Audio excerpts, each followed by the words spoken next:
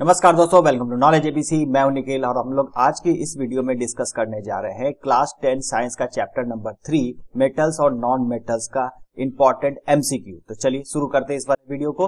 तो सबसे पहला क्वेश्चन देखते हैं इसमें क्या है। तो which one of the following can be beaten into thin sheet तो थीन सीट पे थीन सीट किस मेटल को बीट करके बनाया जा सकता है? आपके एग्ज़ाम्पल है विच ऑफ़ द फॉलोइंग में से किसको बीट करके थीन सीट बनाया सकता है। पहला एग्ज़ाम्पल है सल्फ़र को, फास्फोरस को, जिंक को और ऑक्सीजन को। तो इस तरह का क्वेश्चन आया तो आप लोग को सबसे पहले ये समझना है कि बीटेन इंटू थीन सीट मतलब मेलेबिलिटी का क्वेश्चन है। तो मेलेबिलिटी किसका गुण होता है? मेटल्स का गुण होता है। तो मेटल्स को पीट के आप थीन सीट में बदल सकते हो। ठीक है? तो यहाँ पे आपको ढूंढना मेटल्स कौन सा तो सल्फ़र एक नॉन मेटल है तो ये नहीं हो जाएगा। ओके? फास्फोरस भी एक नॉन मेटल है, ये भी नहीं हो जाएगा। ऑक्सीजन भी एक नॉन मेटल है तो ये भी नहीं हो जाएगा। तो मेटल यहाँ पे कौन सा है? जिंक है। तो करेक्ट आंसर यहाँ पे जिंक हो जाएगा। तो बढ़ते हैं नेक्स्ट क्वेश्चन की तरफ़। तो नेक्स्ट क्वेश्चन है which one of which of the following statement is correct तो करेक्ट स्टेटमेंट हमको यहाँ पे निकालना है, कौन सा करेक्ट स्टेटमेंट पढ़ते हैं। All metals are ductiles all non metals are ductile generally metals are ductile some non metals are ductile तो डक्टिलिटी का प्रॉपर्टी मतलब कि क्या होता है? डक्टिलिटी का मतलब होता है कि थिन वायर में ड्रॉन कर सकते हैं। अगर आप किसी एलिमेंट को आप खींच के थिन वायर बना सकते हैं तो उसको उसकी डक्टिलिटी की प्रॉपर्टी बोला जाता है। डक्टिलिटी बोली जाती है। ओके तो इसमें हमें समझना है कि क्या इसमें कौन सा ऑप्शन होगा। तो डक्टिलिटी तो जनरली सभी मेटल्स में हो जाता है, लेकिन कुछ मेटल्स होते हैं, जैसे कि जिंक और मर्क्यूरी इसमें डक्टिलिटी नहीं पाई जाती है ब्रिटेल होते हैं। और मर्क्यूरी तो खैर रूम टेम्परेचर पर लिक्विड होता है। तो यहाँ पे जो पहला स्टेप है ऑल मेटल्स आर डक्टाइल ये रॉन्ग हो जाएगा, क्योंकि एक्सेप्शन आ गया यहाँ पे जिंक और मर्क्यूरी ठीक है? तो ये दोनों आपका डक्टाइल नहीं होते हैं। तो all non metals are ductile ये भी रॉन्ग हो जाएगा। जनरली मेटल्स आर डक्टाइल तो ये वाला सही हो जाएगा। यहाँ पे example generally metals are ductiles तो ये वाला सही एग्ज़ाम इसका आंसर हो जाएगा। थर्ड क्वेश्चन की तरफ़ बढ़ते हैं। Which one of the following is is not a metal कौन सा इसमें मेटल नहीं है? ठीक है? तो एग्ज़ाम्पल देखते हैं क्या क्या दिया हुआ है। ऑप्शन है ए ऑप्शन है कॉपर दूसरा है सल्फ़र तीसरा है अल्यूमिनियम और चौथा ऑप्शन है आयरन ठीक है? तो कौन कौन सा इसमें मेटल नहीं है? तो कॉपर एक मेटल है अल्यूमिनियम भी एक मेटल है आयरन भी एक मेटल जबकि सल्फ़र एक नॉन मेटल है। तो यहाँ पे सही आंसर इसका सल्फ़र नॉट ए मेटल पूछ रहा है, ठीक है? मेटल नहीं है तो यहाँ पे सल्फ़र मेटल नहीं है, ये नॉन मेटल है फोर्थ नंबर क्वेश्चन देखते हैं। Material which can be drawn into wires are called ductile ठीक है? वैसे मेटल्स को, जिसको मेटेरियल्स को, जिसको हम वायर ड्रॉ कर देते हैं, उसको हम लोग डक्टाइल मेटल कहते हैं okay which of the following is not a ductile material कौन सा इसमें डक्टाइल मटेरियल नहीं है? ठीक है तो यहाँ पे पहला ऑप्शन हो जाएगा सिल्वर दूसरा है कॉपर तीसरा है सल्फ़र और चौथा है अल्मोनियम ठीक है? तो यहाँ पे हम लोग जानते हैं कि डक्टिलिटी का जो प्रॉपर्टी है जनरली मेटल्स में पाया जाता है। नॉन मेटल तो डक्टाइल होते नहीं है, वो तो ब्रिटिल होते हैं। तो यहाँ पे हमें सीधे ढूंढना है कि कौन सा नॉन मेटल दिया होता है। सिल्वर एक मेटल है कॉपर भी एक मेटल है एल्यूमिनियम मेटल जबकि नॉन मेटल सल्फ़र है। तो करेक्ट आंसर इसका सल्फ़र हो जाएगा। सल्फ़र डक्टाइल नहीं होता है।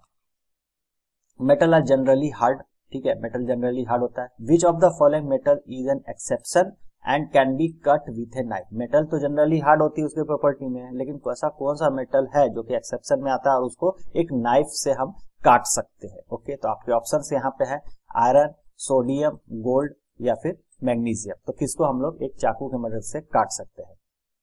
तो देखिए, तीन एक्सेप्शन यहाँ पे आ जाते हैं। लिथियम सोडियम और पोटाशियम इन तीन मेटल को हम लोग चाकू के मदद से काट सकते हैं। जनरली मेटल को आप चाकू की मदद से नहीं काट सकते, लेकिन इन तीनों मेटल को आप चाकू की मदद से काट सकते हैं। ये तीनों एक्सेप्शन होते हैं। तो यहाँ पे एक्सेप्शन में कौन सा दिया हुआ सोडियम दिया अगर इसके जगह पोटासियम दे दे लिथियम दे तो भी ये चलेगा। ठीक है? तो यहाँ पे सही आंसर इसका सोडियम बी ऑप्शन हो जाएगा।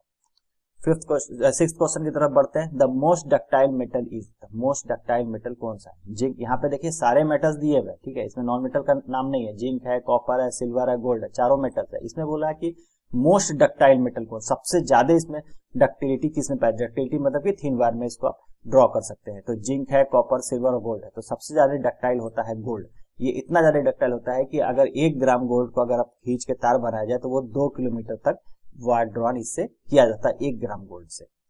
अगले क्वेश्चन पर तरफ़ बढ़ते हैं। Which one of the following react with cold water vigorously बहुत तेज़ी से रिएक्ट कर जाता है कोल्ड वाटर के साथ, ठीक है? तो यहाँ पे आपके ऑप्शंस दिए हुए हैं। कार्बन है सोडियम है मैग्नीशियम है या फिर सल्फ़र है, ठीक है? तो कार्बन तो नॉन मेटल है, यहाँ पे सल्फ़र है, ये भी नॉन मेटल है तो ये दोनों तो वाटर से रिएक्ट वैसे ही करने वाला नहीं तो ये दोनों ऑप्शन खत्म हो गया। अब बच गया यहाँ पे सोडियम और मैग्नीशियम। यही दोनों मेटल है, यही मेटल रिएक्ट करता है। मेटल जब भी वाटर के साथ रिएक्ट करता है तो मेटल हाइड्रोक्साइड फॉर्म करता है और हाइड्रोजन गैस रिलीज़ होता है ओके तो मैग्नीशियम जो है, ये भी वाटर के साथ रिएक्ट करेगा, लेकिन ये हॉट वाटर के साथ रिएक्ट करता है। लेकिन सोडियम हॉट वाटर हो कोल्ड वाटर हो, कैसा भी आप वाटर डालो, तुरंत ये रिएक्ट कर जाएगा और फायर भी हो जाए, क्योंकि हाइड्रोजन गैस प्रोड्यूस करती है, वो आग भी वहाँ पे लग जाएगी, ठीक है? तो सोडियम इसका करेक्ट ऑप्शन हो जाएगा, क्योंकि ये सोडियम कोल्ड वाटर के साथ भी रिएक्ट करके हाइड्रोजन गैस प्रोड्यूस करेगा, सोडियम ऑक्साइड और हाइड्रोजन गैस बनाएगा तो करेक्ट आंसर यहाँ पे सोडियम हो जाएगा। बहुत तेज़ी से रिएक्ट करेगा। अगला ऑप्शन अगला क्वेश्चन तब देखते हैं। The metal oxide which produce hydrogen gas on reaction with dilute hydrochloric acid as well as sodium hydroxide solution वैसा मेटल ऑक्साइड वो कौन सा मेटल ऑक्साइड है, जो कि हाइड्रोजन गैस प्रोड्यूस करेगा? ठीक है वैसा मेटल ऑक्साइड जो कि हाइड्रोजन गैस प्रोड्यूस करेगा। कब? जब हाइड्रोक्लोरिक एसिड हाइड्रोक्लोरिक एसिड के साथ भी रिएक्ट कर ले चाहे सोडियम हाइड्रोक्साइड सोल्यूशन के साथ भी रिएक्ट कर ले ठीक है? तो ये हो जाता है इस तरह का जो होता है वो एम्टोफेरिक जो ऑक्साइड होता है वो होता है एम्फोटेरिक वाला ऑक्साइड ठीक है? तो यहाँ पे आप, आपके ऑप्शन क्या क्या दिए हुए हैं? कॉपर ऑक्साइड दिया है आयरन ऑक्साइड दिया है एल्यूमिनियम ऑक्साइड दिया है और सोडियम ऑक्साइड दिया है। तो यहाँ पे कॉपर ऑक्साइड आयरन ऑक्साइड और सोडियम ऑक्साइड नॉर्मल ऑक्साइड हो गया लेकिन एल्यूमिनियम ऑक्साइड जो होता है, ये एम्फोटेरिक ऑक्साइड होता है। ये ऐसे ऑक्साइड होते हैं जो एसिड के साथ भी रिएक्ट करते हैं और बेस के साथ भी रिएक्ट करते हैं। जैसे कि एल्यूमिनियम ऑक्साइड जो है, ये एसिड के साथ रिएक्ट करेगा तो एल्यूमिनियम क्लोराइड बनाएगा, ठीक है? A L two O three aluminium oxide हो गया और ये एच सी एल के साथ रिएक्ट करेगा तो aluminium A L C L three बना देगा। और वही एल्यूमिनियम ऑक्साइड अगर NaOH बेस के साथ भी रिएक्ट करता है सोडियम हाइड्रोक्साइड के साथ तो यहाँ पे सोडियम एल्यूमिनेट का फॉर्म करेगा। ठीक है? तो दोनों के साथ रिएक्ट करेगा। अब अल्मोनियम ऑक्साइड की जगह अगर ऑप्शन में यहाँ पे जिंक ऑक्साइड दे देता तो भी ये ऑप्शन सही हो जाता। ठीक है? तो यहाँ पे अल्मोनियम ऑक्साइड दे जिंक ऑक्साइड ये सब।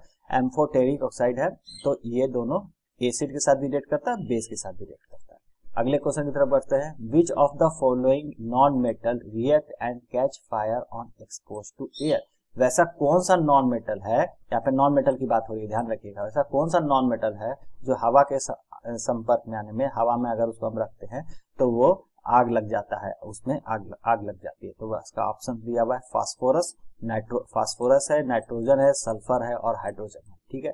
तो फास्फोरस खासकर व्हाइट फास्फोरस जो होता है, इसको अगर हम लोग एयर में रख देते हैं तो ये हवा से ऑक्सीजन से रिएक्ट करके ये फास्फोरस ऑक्साइड बनाता है और ये हवा से कॉन्टेक्ट होकर ये आग भी इसमें लग जाती है। तो इसका सही आंसर हो जाएगा फास्फोरस ठीक है? नाइट्रोजन नहीं होगा नाइट्रोजन तो हवा में होता है, कोई आग नहीं लगती। सल्फ़र को अगर आप एयर में रखेंगे, कोई आग नहीं लगेगा। हाइड्रोजन भी अगर आप एयर में रखेंगे तो वो कोई आग उसमें नहीं लगेगा। बसरते को उसको स्पार्क नहीं दिया जाए, ठीक है? लेकिन फास्फोरस को बिना स्पार्क लगाए अगर आप डायरेक्टली हवा में रख देते हैं तो खुद से खुद उसमें आग लग जाएगी। नेक्स्ट क्वेश्चन की तरफ़ बढ़ते हैं। Generally metal oxide are basic and non metallic oxides are acidic in nature ठीक है? क्या बोल रहा है क्वेश्चन में जनरली मेटालिक ऑक्साइड जो भी मेटालिक ऑक्साइड होता है, वो बेसिक होते हैं और नॉन मेटालिक ऑक्साइड होता है, वो एसिडिक इन नेचर होते हैं। ओके ये स्टेटमेंट दे दिया। अब आगे इसमें क्या बोल रहा है? Solution of which of the following oxide in water will change the colour of blue litmus to red ठीक है? तो ये पहला वाला जो लिटमस पेपर वाला जो है एसिड और बेस को जो आइडेंटिफाई करना, उससे भी थोड़ा सा ये मिला के क्वेश्चन ये बनाएगा। तो यहाँ पे क्या करा है? Solution of which of the following in water change the colour of blue litmus to red ठीक है, यहाँ पे लिटमस का कलर चेंज क्या हो रहा है? ब्लू से रेड हो रहा है। तो लिटमस का पहचानने का तरीका मैं बताया था कि अगर बेसिक ऑक्साइड रहेगा, ठीक है तो ब्लू हो जाएगा। और एसिड ऑक्साइड रहेगा मतलब बेसिक बेसिस रहेंगे तो ब्लू कर देगा और एसिड रहेगा तो यहाँ पे रेड कर देगा। तो यहाँ पे ब्लू लिटमस रेड हो जा रहा रेड हो जा रहा तो इसका मतलब पक्की बात है कि एसिड है। ठीक है? एसिडिक इन नेचर है। जो सॉल्यूशन में जो लिटमस जहाँ डालेंगे, वो एसिडिक इन नेचर है। ओके तो एसिडिक इन नेचर तो क्वेश्चन में ही दिया हुआ है। एसिडिक इन नेचर किसका होता है? नॉन मेटेलिक ऑक्साइड का होता है। ये तो क्वेश्चन में ही दे दिया है। ब्लू लिटमस रेड कब करेगा? जब एसिड सोल्यूशन होगा। और एसिडिक ऑक्साइड यहाँ पे चाहिए तो एसिडिक इन नेचर कब हो रहा है? नॉन मेटेलिक ऑक्साइड होना चाहिए यहाँ पे। ओके तो नॉन मेटेलिक ऑक्साइड हमें ऑप्शन में से ढूंढना है और वही इसका करेक्ट आंसर हो जाएगा। तो यहाँ पे ऑप्शन हम देख सकते हैं सल्फ़र डाइऑक्साइड पहला ऑप्शन है, दूसरा है मैग्नीशियम डाई मैग्नीशियम ऑक्साइड तीसरा ऑप्शन आयरन ऑक्साइड चौथा ऑप्शन है कॉपर ऑक्साइड ठीक है? तो यहाँ पे non metallic oxide copper metal oxide हो गया आयरन मेटल ऑक्साइड हो गया मैग्नीशियम मेटल ऑक्साइड लेकिन सल्फ़र डाइऑक्साइड जो है, ये नॉन मेटेलिक ऑक्साइड है और यही एसिडिक इन नेचर होगा, ठीक है? तो यही इसका करेक्ट आंसर हो जाएगा। अगले क्वेश्चन की तरफ़ बढ़ते हैं। Aluminium is use for making cooking utensil aluminium का उपयोग किया जाता है कुकिंग यूटेंसिल बनाने में कुकिंग बर्तन बनाने में। Okay which of the following properties of aluminium are responsible for the set ठीक है? तो कौन सा प्रॉपर्टी उसको उस तरह का बनाने में यूटेंसिल बनाने में मदद करता है? ठीक है? Making cooking utensil good thermal conductivity पहला ऑप्शन है। गुड इलेक्ट्रिक कंडक्टिविटी तीसरा ऑप्शन है।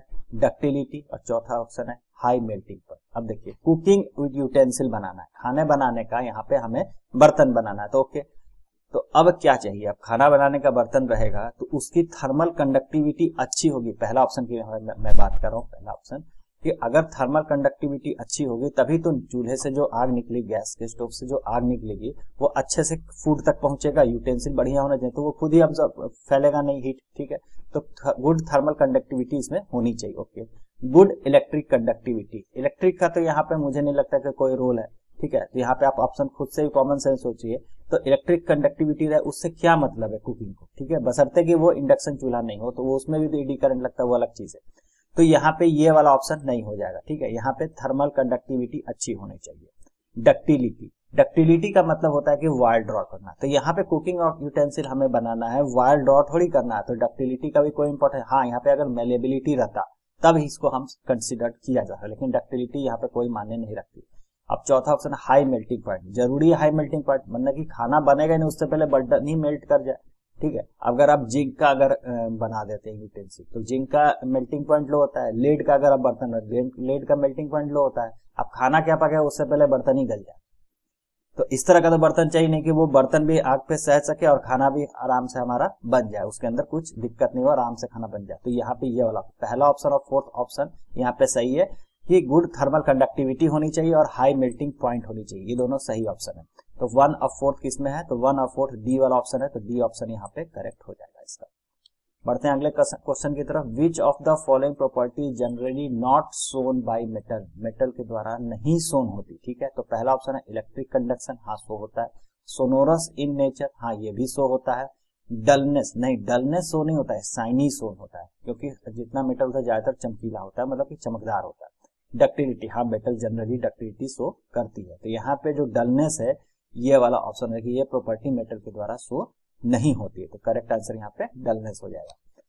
अगला क्वेश्चन की तरफ़ बढ़ते हैं। Which of the following metal do not react with cold as well as hot water जो वैसा मेटल जो कोल्ड वाटर से भी रिएक्ट ना करे और हॉट वाटर से भी रिएक्ट ना करे। ठीक है? यहाँ पे ऑप्शन है एन मतलब सोडियम सी ए मतलब कैल्सियम थर्ड ऑप्शन है एम मतलब मैग्नीशियम और fourth fourth option D option है एफ़ मतलब आयरन ठीक है? तो यहाँ पे सिंबल के रूप में ऑप्शन दिया हुआ तो इसमें पूछ रहा है कि वैसा मेटल जो हॉट वाटर से भी रिएक्ट ना करे कोल्ड वाटर से भी रिएक्ट ना करे। सोडियम ये हॉट कोल्ड दोनों से रिएक्ट कर जाता है। कैल्सियम ये भी कोल्ड हॉट लगभग दोनों से रिएक्ट कर जाता है। मैग्नीशियम कोल्ड से रिएक्ट नहीं करता, लेकिन हॉट वाटर से तो प्योरली रिएक्ट कर जाता है। लेकिन आयरन ये ना हॉट वाटर से रिएक्ट करता है, ना कोल्ड वाटर से रिएक्ट करता है। इसलिए इसका आंसर एफ़ आयरन हो जाएगा। अगला क्वेश्चन तरफ़ बढ़ते हैं। Which of the following properties not generally exhibit by ionic compound ionic compound के द्वारा ये प्रॉपर्टी शो नहीं होती है। इसमें से जो प्रॉपर्टी वो शो नहीं होगी। सोलिबिलिटी इन वाटर अब जैसे इस तरह का क्वेश्चन आए ना तो क्या करना है कि एक आयोनिक कंपाउंड का ध्यान कर लेना जैसे कि हम यहाँ पे एग्ज़ाम्पल के लिए एनओएच जैसे एग्ज़ाम्पल में यहाँ पे दिया बना हम अपने मन से मान के चल लेते हैं, ठीक है? सोडियम क्लोराइड के लिए मान लेते हैं। कॉमन साल्ट है एनएसीएल इसका हम एग्ज़ाम्पल लेके चल रहे हैं। अब उससे मैच करते जाएँगे कि ये प्रॉपर्टी मैच हो रही है कि नहीं है। सोलिबिलिटी वाटर हाँ एनएसीएल है आयोनिक कंपाउंड है, और वो सोलबल हो जाता है वाटर में ओके यहाँ पे हम, हमें ढूंढना है नॉट नहीं होती है प्रॉपर्टी नहीं मिलेगी।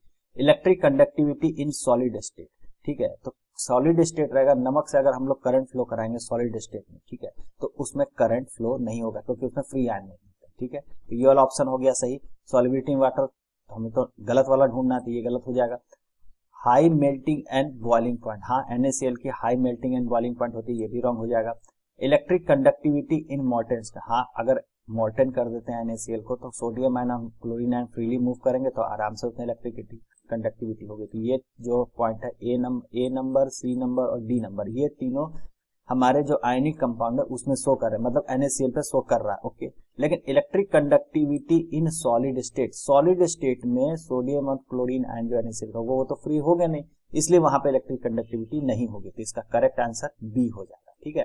Not generally exhibited by ammeter ऐसा प्रॉपर्टी जो नहीं सोन होता। तो यहाँ पे electric conductivity in solid state में सो नहीं होगा तो इसका आंसर बी हो जाएगा। अगले क्वेश्चन देखते हैं which of the following metal exist in their native state in nature अपने शुद्ध रूप में पाए जाते हैं, किसी कंपाउंड में रूप में नहीं पाए जाते हैं। तो यहाँ पे आपके ऑप्शन दिए हुए हैं सी यू मतलब कॉपर सेकंड ऑप्शन है ए यू मतलब गोल्ड थर्ड ऑप्शन है जेड एन मतलब जिंक और फोर्थ ऑप्शन है ए जी मतलब सिल्वर तो गोल्ड सिल्वर प्लेटिनम ये सब जो कुछ मेटल है, ये अपने नेटिव स्टेट में पाए जाते हैं। ठीक है तो इसका सही आंसर यहाँ पे होगा एयू गोल्ड और ए सिल्वर तो सेकंड और फोर्थ कहाँ पे? सेकंड और फोर्थ सी ऑप्शन में. तो सी ऑप्शन यहाँ पे करेक्ट ऑप्शन हो जाएगा। अगला क्वेश्चन देखते हैं. Stainless steel is very useful material for our life ठीक है स्टेनलेस स्टील का हम लोग हर जगह बर्तन से लेकर बिल्डिंग कंस्ट्रक्शन हर जगह यूज़ करते हैं। In stainless steel iron is mixed with मतलब कि पूछ रहा है कि स्टेनलेस स्टील में जो एलवाय जो होता है, उसमें कौन कौन से कंपोनेंट होते हैं कौन कौन से मेटल को मिला के इस एलवाय को बनाया जाए स्टेनलेस स्टील को बनाया जाता है। तो उसमें एक पार्ट तो आयरन होता है, और क्या क्या उसमें होता है, वो पूछ रहा है। तो आपके यहाँ पे ऑप्शन दिया हुआ है N I C R nickel और क्रोमियम दूसरा ऑप्शन है सी यू मतलब कॉपर और सी आर क्रोमियम कॉपर और क्रोमियम थर्ड ऑप्शन है निकिल और कॉपर ठीक है। और जो फोर्थ ऑप्शन है C U and A U copper और गोल्ड तो स्टेनलेस स्टील जो भी होता है, उसमें निकेल और क्रोमियम मिलाया जाता है। तभी वो आयरन में अगर निकेल क्रोमियम मिलाया जाता है एक फिक्स्ड रेशियो में तो वो स्टेनलेस स्टील बनाता है। इसका करेक्ट ऑप्शन ए वाला हो जाएगा निकेल एंड क्रोमियम इसमें मिक्सड होता है। Which of the following can undergo chemical reaction कौन सा इसमें केमिकल रिएक्शन रिएक्ट करेगा, वो बताना, ठीक है? तो magnesium sulphate plus iron zinc sulphate plus iron magnesium sulphate plus P मतलब लेड और कॉपर सल्फेट प्लस एफ़ मतलब की आयरन ओके तो इस तरह का जो क्वेश्चन है, कौन सा डिस्प्लेस करेगा इसको? तो ये डिस्प्लेसमेंट तभी होगा जब रिएक्टिविटी सीरीज़ में जो कंपाउंड है, उसमें जो मेटल है कंपाउंड में जो मेटल उससे ज़्यादा रिएक्टिव मेटल अगर बाहर में बैठा हुआ है तो वो जो उससे कम रिएक्टिव मेटल है, उसको बाहर कर देगा। मतलब कि जो जो कंपाउंड में जो मेटल है, वो जो बाहर बैठा हुआ मेटल है, उससे कम रिएक्टिव होना चाहिए तो वो उसको डिस्प्लेस करता है। मतलब कि जो बाहर है, वो ज़्यादा रिएक्टिव होगा। तो रिएक्टिविटी सीरीज़ का क्वेश्चन है। तो यहाँ पे मैग्नीशियम हम आयरन को देखेंगे। तो मैग्नीशियम ज़्यादा रिएक्टिव है डिस्प्लेस नहीं करेगा। ये ऑप्शन गलत हो गया। जिंक और आयरन में बात करेंगे, आपको रिएक्टिविटी सीरीज़ इसके लिए याद होनी चाहिए, ठीक है? जिंक और आयरन की अगर हम लोग बात करेंगे तो यहाँ पे जिंक ज़्यादा रिएक्टिव आयरन से ये भी डिस्प्लेस नहीं करेगा। मैग्नीशियम एंड लेड की बात करें पीबी मतलब लेड मैग्नीशियम एंड लेड की बात करेंगे तो यहाँ पे मैग्नीशियम ज़्यादा रिएक्टिव ये भी रिएक्ट नहीं करेगा, ठीक है? कॉपर सल्फेट मतलब कॉपर और आयरन में बात करें तो यहाँ पे आयरन ज़्यादा रिएक्टिव है कॉपर से, इसलिए कॉपर को रिप्लेस कर देगा, यहाँ पे रिएक्शन ये बन जाएगा यहाँ पे यहाँ पे F E S F E S O four यहाँ पे फॉर्म हो जाएगा, और प्लस यहाँ पे कॉपर जो है वो निकल जाएगा बाहर डिस्प्लेस का डिस्प्लेसमेंट एग्ज़ाम डिस्प्लेसमेंट रिएक्शन का भी एग्ज़ाम्पल हो जाएगा यहाँ पे तो ये वाला रिएक्ट कर जाएगा। इसका सही ऑप्शन हो जाएगा copper sulphate plus iron copper sulphate solution में अगर आयरन डालेंगे तो वो रिएक्ट करके iron sulphate F E S O four plus copper यहाँ पे बनेगा। Generally non metal do not are not conductor of electricity ठीक है? नॉन मेटल जो होता है नॉट कंडक्टर होता है गुड कंडक्टर नहीं होता है इलेक्ट्रिसिटी का बैड कंडक्टर होता है। Okay which of the following is a good conductor of electricity कौन सा है इसमें फॉलोइंग में से गुड कंडक्टर ऑफ़ इलेक्ट्रिसिटी है? यहाँ पे आपके ऑप्शन है डायमंड है ग्रेफाइट है, सल्फ़र है, और फ्लोरिन है। यहाँ पे आप ध्यान दीजिएगा डायमंड, ग्रेफाइट और जो फ्लोरिन है, सभी एलोट्रॉप है कार्बन के मतलब ये तीनों कार्बनिक है ठीक है? और जो सल्फ़र है, ये अलग दूसरा नॉन मेटल तो यहाँ पे एक एक्सेप्शन आ जाता है नॉन मेटल में, वो ग्रेफाइट, ठीक है? जो कार्बन का एलोट्रॉप होता है, ग्रेफाइट से इलेक्ट्रिक कंडक्टिविटी होती है, क्योंकि इसमें फ्री इलेक्ट्रॉन होते हैं, ठीक है? तो यहाँ पे सही आंसर इसका ग्रेफाइट हो जाएगा, इससे इलेक्ट्रिसिटी कंडक्ट होती है। अब यहाँ पे दिया हुआ है 19 नंबर क्वेश्चन देखते हैं। The electronic configuration of three element, X, Y, Z, are. X का टू एट, वाई का two eight seven, and Z का two eight two. Okay. Which of the following is correct? ठीक है तो यहाँ पे कुछ एलिमेंट दिया हुआ, थ्री एलिमेंट दिया हुआ, एक्स, वाई, जेड, तीनों का इलेक्ट्रॉनिक कॉन्फ़िगरेशन दिया हुआ है। अब इसमें बता रहा है कि कौन सा ऑप्शन इसमें सही है। तो X इज़ ए पहला ऑप्शन है, X इज़ ए मेटल दूसरा है Y इज़ ए मेटल तीसरा है Z is a non metal और B ऑप्शन है Y is non metal and Z is metal तो इलेक्ट्रॉनिक कॉन्फ़िगरेशन हमें देख के बताना है कि कौन सा मेटल है, कौन सा नॉन मेटल है, ठीक है? तो यहाँ पे क्वेश्चन में पढ़ते हैं पहले। एक्स इज़ एक्स का क्या इलेक्ट्रॉनिक कॉन्फ़िगरेशन है? टू एट अब देखिए, इसका जो लास्ट ऑर्बिट है ऑक्टेट इसका फुल है, ठीक है? तो ये नोबेल गैस ही है, ठीक है? इस, ये जो है, ये ना मेटल है, ये नॉन मेटल के कैटेगरी में ही आ जाएगा, लेकिन ये नोबल गैस आ जाएगा ओके अब यहाँ पे वाई का देखिए। 287 ठीक है? तो 287 दिया हुआ मतलब ऑक्टेट इसका खाली है एक। आठ होता तो ऑक्टेट पूरा हो जाता। आठ जो जो आउटर सेल है, उसमें सात ही इलेक्ट्रॉन है। मतलब कि ये पक्की बात है, ये नॉन मेटल ही है। ठीक है? एक इलेक्ट्रॉन इसको मिलेगा तो ऑक्टेट पूरा हो जाएगा। एक इलेक्ट्रॉन की डिफिशियंसी यहाँ पे तो ये जो है नॉन मेटल है। ओके? और जेड की अगर बात करें तो टू एट टू यहाँ पे दो इलेक्ट्रॉन है। ठीक है? तो आठ यहाँ पर तो ऑक्टेट फुल हो गया था यहाँ पे सेकंड ऑर्बिट और थर्ड ऑर्बिट में दो इलेक्ट्रॉन है। मतलब कि सेकंड ग्रुप का ये एलिमेंट है। यहाँ पे दो इलेक्ट्रॉन ये अगर किसी को डोनेट करेगा तो ये मेटल ऑक्साइड बना देगा। ठीक है? तो इसका मतलब जो जेड है, वो मेटल है। मेटल लिख दिए और जो वाई है, ये नॉन मेटल है। तो Y is a non metal and Z is a metal ठीक है? Z metal and Y non metal तो डी ऑप्शन इसका करेक्ट आंसर हो जाएगा। अब अगला क्वेश्चन लास्ट क्वेश्चन की बात करें। Which of the following method is suitable for preventing an iron frying from rusting तो आयरन फ्राइंग पैन जो होता है, उसको रस्टिंग से बचाने के लिए हमें कौन सा मेटल मेथड यूज़ करेंगे? तो आपके ऑप्शन यहाँ पे दिया है अप्लाइंग ग्रीस ग्रीस का उपयोग करेंगे अप्लाइंग पेंट पेंट कर देंगे उसके ऊपर applying a coating of zinc okay और ऑल ऑफ़ द अदर इसमें से कौन सा ऑप्शन इसका सही होगा? अगर आप देखिए कुकिंग इंटेंसिल है फ्राइंग पैन है हाई हीट होगा इसमें हाई हीट होगा और यहाँ पे हम लोग ग्रीस देंगे तो वो खुद ही जल जाएगा। ग्रीस तो ऑर्गेनिक पदार्थ होता है हीट लगेगा वो जल जाएगा ऑप्शन के कॉन्टेक्ट तो ये नहीं हो जाएगा ऑप्शन अप्लाइंग पेंट पेंट भी एक तरह का ऑर्गेनिक लिक्विड होता है जिसको एक सरफेस पर लगाया जाता है तो ये भी अगर हीट के कांटेक्ट में आएगा हाई हीट के कांटेक्ट में आएगा तो ये भी जल जाएगा तो ये भी नहीं होगा। अप्लाइंग कोटिंग ऑफ़ जिंक ठीक है? जिंक की अगर हम लोग कोटिंग कर देंगे तो ये मेटल है, ठीक है? और ये जल्दी से रिमूव होगा भी नहीं तो ये जो है, ये ऑप्शन सही हो जाएगा। मेट अप्लाइंग कोटिंग ऑफ़ जिंक अगर कोई फ्राइंग पैन पर हम लोग करते हैं तो ये हटेगा नहीं और ये स्टेबल भी रहेगा, ठीक है? और ऑल ऑफ़ द तो होगा होगा ही नहीं, क्योंकि ये दोनों रॉन्ग हो गया। तो ऑप्शन सी जो है, वो करेक्ट ऑप्शन यहाँ पे हो जाएगा। Thank you very much video आपको अच्छा लगा तो लाइक शेयर और सब्सक्राइब करना भूलें। मिलते हैं अगले वीडियो